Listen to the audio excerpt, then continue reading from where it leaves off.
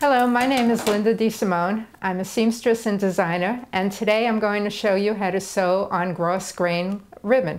Things you'll need is your grosgrain ribbon, scissors, pins, sewing machine, and fray check, a needle and thread. Step one, because grosgrain uh, ribbon frays, you're going to need to fold it down and sew it so that you can make a nice finish. So here I have, you just turn it over once, turn it over twice,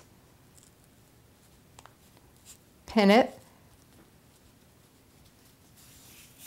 and that will give you a nicer edge. Or your other option is, there's a product called Fray Check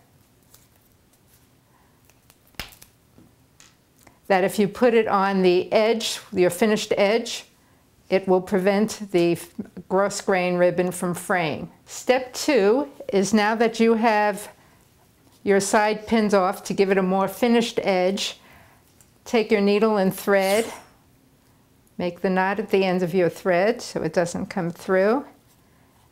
And then just sew a little hem stitch all through the bottom.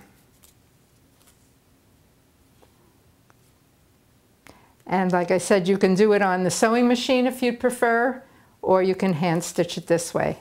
When you get to the end, just tie your knot and sew it. And you're finished.